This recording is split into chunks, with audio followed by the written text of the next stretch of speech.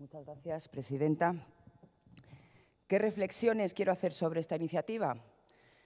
En principio, cómo ser ecuánime sin ser equidistante. Cómo ser justa sin ser oportunista. Cómo valorar en su medida los hechos en los que se basa esta proposición sin caer en el populismo barato y en el alarmismo cursi. Compartimos lo inapropiado, lo grosero y lo ofensivo de los comentarios vertidos en el tristemente famoso chat de un grupo de policías municipales. Se ha abierto un procedimiento de información reservada y se está instruyendo el caso por parte del juzgado. Pero aquí ya vamos tomando las medidas cautelares, oportunas y oportunistas, para que cualquier matiz a esta proposentencia sea constitutiva de penas de, de un tuit. Nuestro grupo va a solicitar la votación por puntos, con lo que de manera democrática y prudente pensamos apoyar, y respaldar a todos los agentes del cuerpo de Policía Municipal por la labor que hacen a diario. Condenamos también la torpeza, mal estilo, falta de educación, chulería y macarrismo de los comentarios vertidos en el chat, reservando por prudencia la calificación de xenofobia, racismo, sectarismo y extremismo a las conclusiones que se deriven de los procedimientos abiertos. Querida alcaldesa, toda nuestra solidaridad, nuestro apoyo y nuestro cariño hacia usted, toda nuestra solidaridad con, aquellos que sufren o han sufrido amenazas y nuestra solidaridad y apoyo a los inmigrantes y al resto de colectivos insultados por estas personas. Y evidentemente vamos a reivindicar la dimensión preventiva, comunitaria y democrática del trabajo habitual de la Policía Municipal. Pero no vamos a aprovechar lo mediático de un hecho bochornoso, pero aislado, para Río Revuelto votar a favor de una batería de medidas que recuerdan a un comité de salud pública.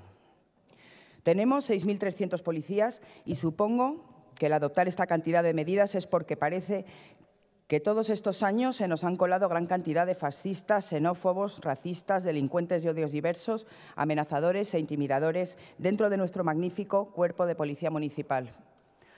Pues no, esto no es así.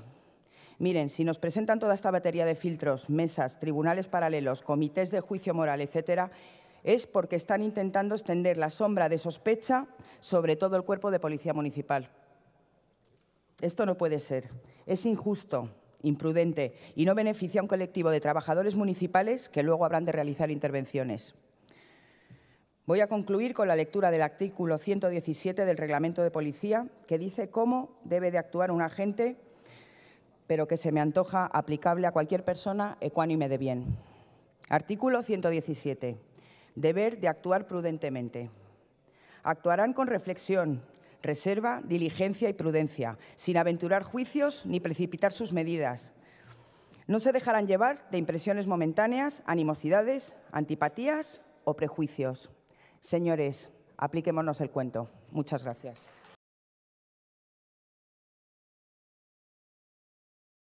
El Estatuto Jurídico de Madrid Salud establece que el organismo autónomo desarrollará sus funciones tanto mediante actuaciones propias como a través de la cooperación y acuerdo con otras administraciones públicas y entidades públicas y privadas.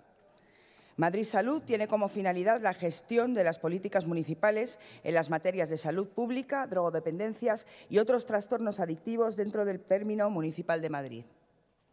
La prevención de enfermedades es un pilar esencial del concepto de salud pública. En los últimos años, Madrid Salud dirigió su estrategia hacia labores de promoción de la salud con alto contenido grupal.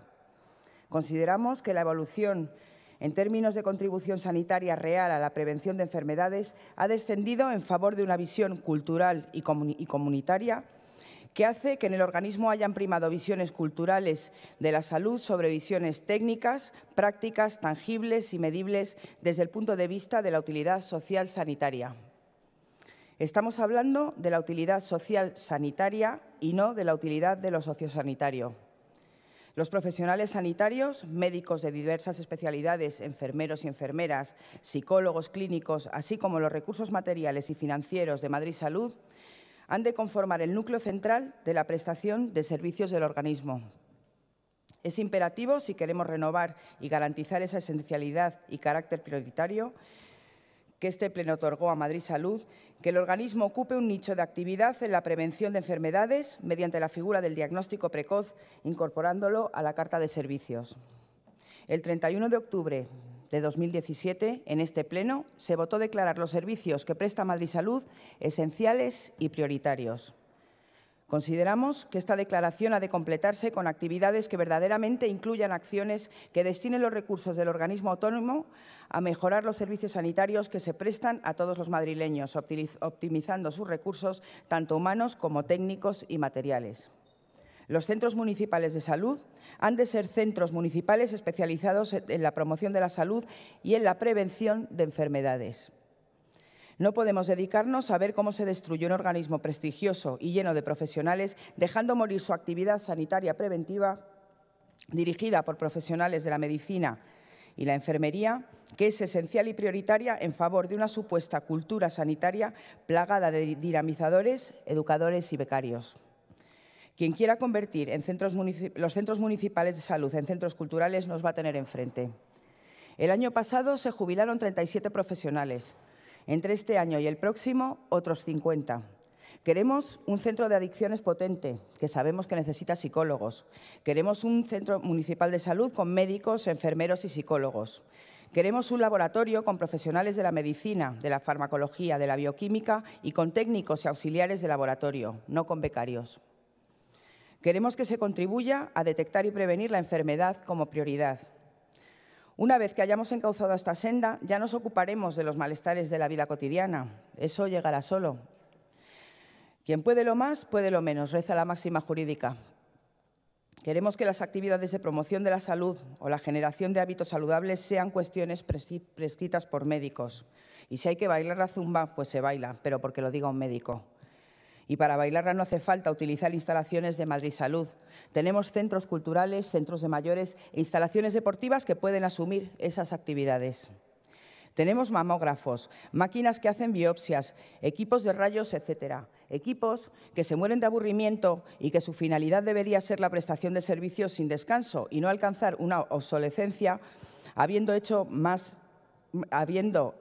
poco más que agarrar polvo en una esquina. Queremos que este ayuntamiento se tome en serio la prevención de la enfermedad y queremos que este ayuntamiento contribuya al diagnóstico precoz de las enfermedades más prevalentes, que Madrid Salud sea conocido por la ciudadanía como parte del sistema de salud. Y desde luego pensamos que la estrategia seguida durante los últimos años, desde 2008-2009, ha demostrado y está demostrando que no funciona. No porque lo diga yo, sino porque lo dicen los propios profesionales del organismo a través de sus representantes. En julio de este año, UGT decía, en la actualidad contamos con una, precariedad, con una precariedad absoluta, una plantilla con una media de edad cercana a los 61 años, contratos de servicio cada vez más abundantes y de duración determinada. No hace mucho hemos tenido debates en este Pleno sobre la esterilización de servicios y qué servicios, mediación intercultural, sobre el coste ingente de proyectos piloto que no cubren las necesidades de nadie. Con la aprobación de esta proposición tenemos que empezar a caminar para enderezar esta situación. Muchas gracias. Sí, muchas gracias. ¿Cuánto tiempo tengo? Bueno, eh, sí, eh, realmente, señora Lorriaga, bueno, agradezco las intervenciones de, todos los, eh, portavoces. sí, efectivamente había un error. Nosotros queríamos llevar la iniciativa más por el tema de la, de la prevención y por eso, bueno, pues vamos a aceptar la la enmienda que nos ha presentado el Partido Socialista, que sí creemos que va más por, esa vía.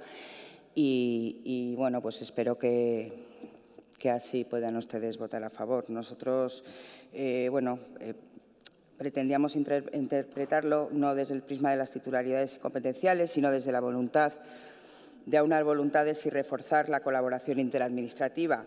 Eh, no se trata de quien se cuelgue la medalla, sino de que el ganador de la medalla a la mejor coordinación y colaboración interadministrativa sea el ciudadano. está fuera de tiempo ya.